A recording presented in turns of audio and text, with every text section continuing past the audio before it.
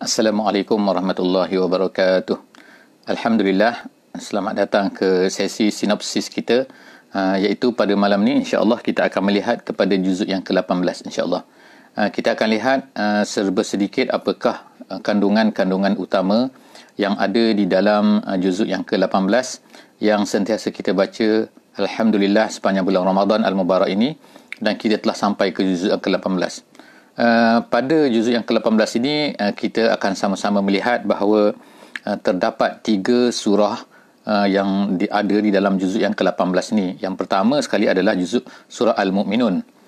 Uh, daripada ayat yang pertama sehingga ayat 118 iaitu uh, semua daripada juzuk uh, surah Al-Mu'minun ini ada di dalam juzuk yang ke-18.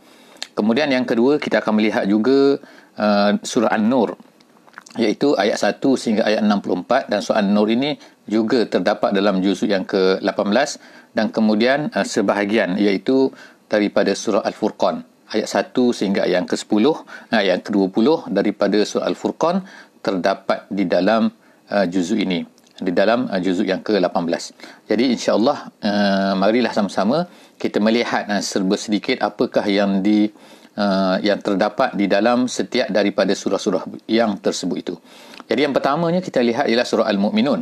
Surah Al-Mu'minun ini adalah surah yang pertamanya uh, surah Mu'minun ini adalah surah yang uh, merupakan surah Makkiyah uh, dan dianya dikatakan turun selepas daripada surah Al-Anbiya dan kemudian mengikut tertib mushafnya adalah uh, terletak dilepas selepas daripada surah Al-Hajj. Apakah yang dikandung uh, oleh surah Al-Mu'minun ini? Ataupun apakah uh, tema utama daripada surah Al-Mu'minun ini.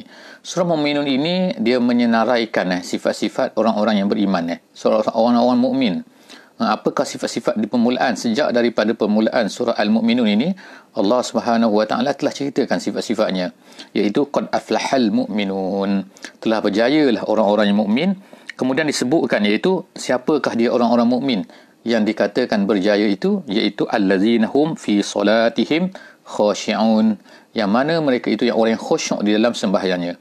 Dan begitulah seterusnya Allah Subhanahu wa taala menyebutkan sifat-sifatnya iaitu mereka yang lari ataupun uh, uh, tidak bersama-sama uh, di dalam perkara-perkara yang lara. Dan kemudian mereka itu menjaga uh, diri mereka iaitu menjaga kemaluan-kemaluan mereka dan kemudian banyak lagi sifat-sifat yang Allah Taala sebut sini menjaga amanah dan kemudian tu menjaga sembahyangnya dan seterusnya Allah Subhanahu taala menyenaraikan sifat-sifat tersebut dan akhirnya jika sekiranya kita berjaya kita cek diri kita. Sama ada kita berjaya kita mempunyai sifat-sifat tersebut atau tidak. Jika sekiranya berjaya maka tahniah diucapkan. Kerana apa? Allah Subhanahu wa taala telah menyebutkan dalam ayat yang ke-10 dan yang ke-11 orang-orang yang berjaya dengan sifat-sifat tersebut Allah Taala kata ulaika humul warithun allazina yarisunal firdausa hum fiha khalidun mereka itulah orang-orang yang mewarisi firdaus dan mereka itu adalah kekal di dalam firdaus tersebut. Jadi masya-Allah uh, moga-moga kita cuba cek diri kita kan sama ada kita mempunyai sifat-sifat uh, yang disebutkan oleh Allah Subhanahu wa taala tersebut ataupun tidak. Kemudian selepas daripada itu Allah juga telah menceritakan kepada kita uh, beberapa sejarah eh. sejarah-sejarah seperti Allah SWT telah menyebutkan eh, kisah-kisah Nabi-Nabi yang terdahulu yang disebutkan dan juga bagaimana apa yang berlaku kepada uh, orang-orang yang telah uh, menentang nabi-nabi itu iaitu menentang keimanan itu. Jadi Allah Taala sebutkan uh, seorang demi seorang di antara uh, nabi-nabi yang tersebut itu. Jadi kemudian selepas daripada itu Allah Subhanahu Taala sebutkan juga lagi selepas itu sifat-sifat orang-orang mukmin yang yang lebih tinggi lagi iaitu sebagai contohnya dalam ayat yang ke-57 Allah sebut juga innal ladzina hum min khasyati rabbihim mushfiqun orang-orang yang mana mereka-mereka ini sangat takut kepada Allah Subhanahu wa taala.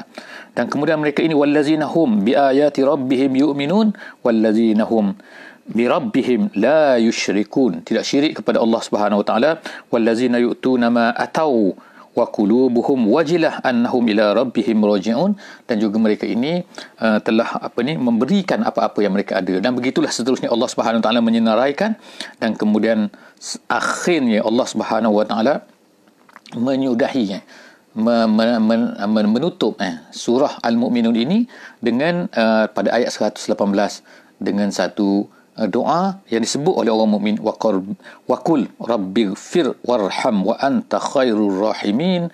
Ya Allah ya Allah ampunilah aku ya Allah dan kasihanilah aku ya Allah dan sesungguhnya engkau ini maha maha maha wa anta khairur rahimin. Yang maha maha rahim maka engkaulah yang mempunyai sifat itu. Ha, jadi uh, begitulah Allah Taala tutup eh dengan uh, apa ni menyebutkan doa ini untuk mengajar kepada kita bahawa kadang-kadang mungkin kita uh, tidak uh, sempat tidak tercapai sifat-sifat ini walaupun kita inginkan jadi kita minta Allah Subhanahu taala supaya ampunkan kita. Ha, jadi itu adalah uh, kandungan secara ringkasnya daripada surah Al-Mu'minun. Uh, di mana temanya kita katakan bahawa tema surah Mukminun ini adalah uh, senarai sifat-sifat orang yang beriman dan kemudian jika sekiranya orang itu tidak beriman apakah kesan dia? Apakah nasibnya di akhirat nanti?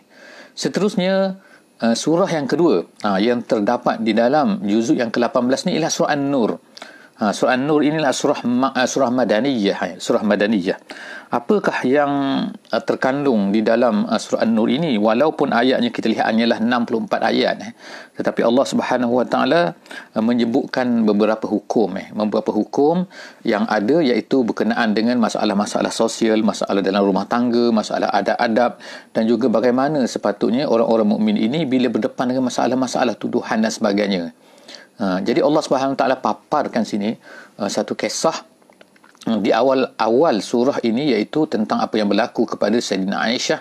Sayyidina Aisyah iaitu apabila dituduh dengan berzina uh, yang mana uh, api-api uh, tuduhan ini sebenarnya dimulakan eh oleh orang-orang munafik eh, Abdullah bin Ubay bin Salul dan kemudian beberapa orang sahabat telah uh, ter mungkin terperangkap juga eh. lalu mereka telah semua telah dihukumlah tetapi Allah Subhanahu Wa Taala uh, lambat eh untuk menurunkan ayat berkenaan dengan peristiwa ini dan uh, supaya menjadi pengajaran kepada orang-orang yang beriman uh, nak tunjukkan kepada mereka bagaimana sikap-sikap mereka ini bila berdepan dengan masalah-masalah yang seperti itu.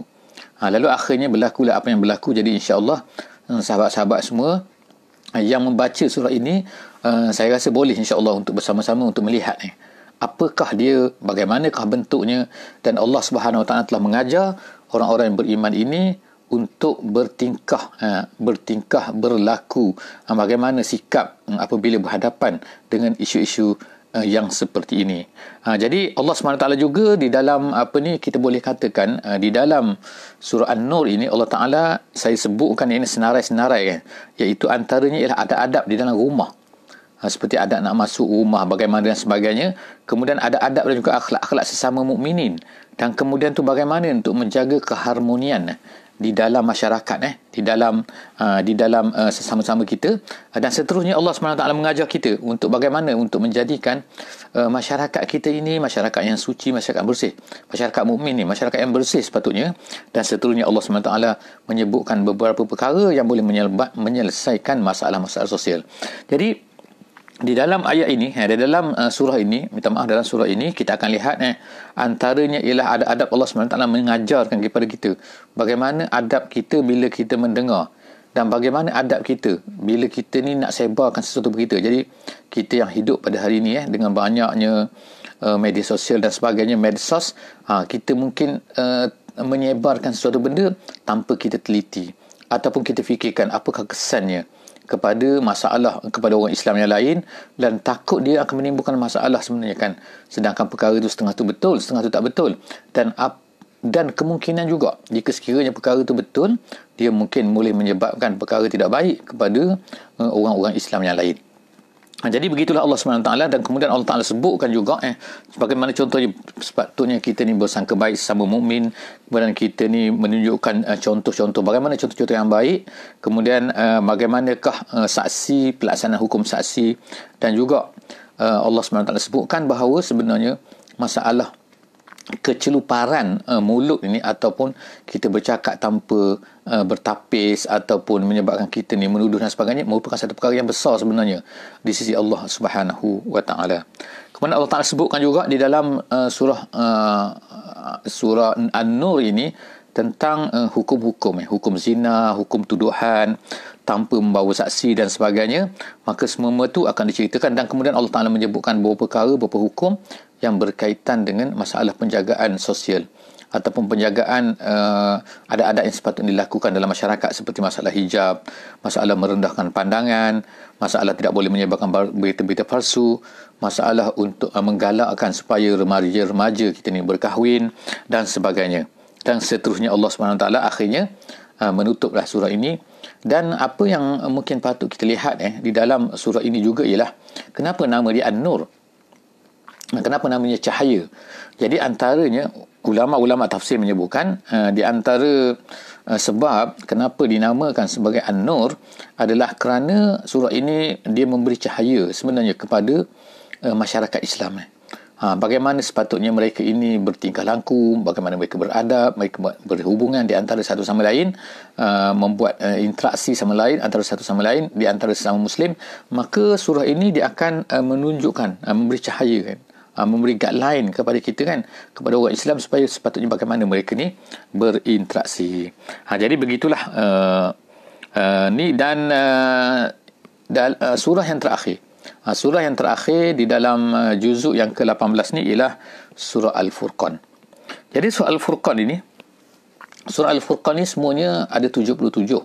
Dia adalah surah Makkiyah dan uh, tapi ayat yang termasuk di dalam uh, juzuk yang ke-18 ni hanyalah 1 hingga 20 sahaja kan. Maknanya uh, selepas 21 hingga 77 adalah termasuk dalam juzuk yang seterusnya yang akan kita uh, sentuh, kita akan lihat insya-Allah uh, dalam sesi kita dalam dalam aksesi akan datang insya-Allah kan. Jadi lebih kurangnya uh, ialah uh, tema kepada surah ini, surah Al-Furqan ini daripada namanya, namanya Furqan eh. Furqan ni maknanya pembeda eh pembeda di antara benar dan salah eh. maknanya yang menunjukkan yang mengclearkan eh. Ha ini betul ini salah. Ha, itu maksud uh, al-furqan. Jadi surah ini dia menceritakan perkara ni dan menceritakan bahawa uh, sesiapa banyak cerita-cerita takzib eh. Cerita takzib ni makna cerita pendustaan. Maknanya orang-orang yang mendustakan nabi-nabi mendustakan nabi ni nabi ni dan sebagainya. Jadi banyak peristiwa pendustaan-pendustaan ini telah berlaku uh, dalam uh, apa ni Uh, pengutusan nabi-nabi sebelum daripada Nabi Muhammad sallallahu alaihi wasallam pun. Jadi Allah Subhanahu taala menyebutkan tentang pengakhiran. Apa yang akhirnya terjadi kepada mereka orang yang menentang nabi-nabi ni.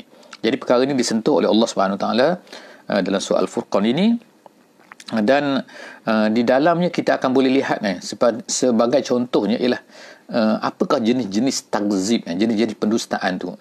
Uh, yang mereka kata Nabi ni bohong uh, Nabi Musa ni bohong Nabi Nuh ni bohong. Apakah bentuk-bentuk yang berlaku uh, sebelum daripada Nabi Muhammad sallallahu alaihi wasallam?